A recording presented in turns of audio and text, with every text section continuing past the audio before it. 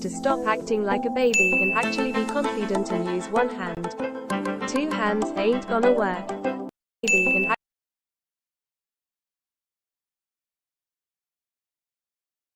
actually be confident and use one hand.